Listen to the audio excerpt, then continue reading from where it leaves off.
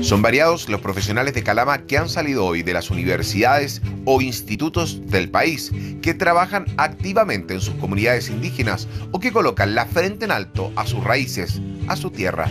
El internado andino instalado en Calama ha logrado subsistir en el tiempo Hoy contamos, ¿cierto?, con 16 alumnos, en este caso están divididos en 10 niñas, ¿cierto?, y 6 varones, y eh, pertenecen a Atacama, La Grande y Alto Loa. Tenemos niños de Ollagüe, eh, de Socaire, ¿cierto?, San Pedro de Atacama, Chiuchiu, La Sana.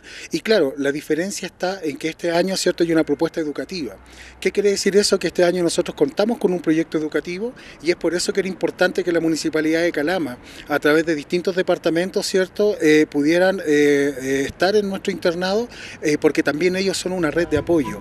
Pero hoy el proceso de ayuda en alojamiento y alimentación cambia a una estrategia educacional de chicos que en algunos casos ni siquiera conocían Calama antes de venir a este internado. Bueno, ayer tuvimos la visita de nuestras autoridades comunales, nos visitó la directora de Cultura y Turismo, nos visitó el director de Seguridad Pública y también nuestro alcalde.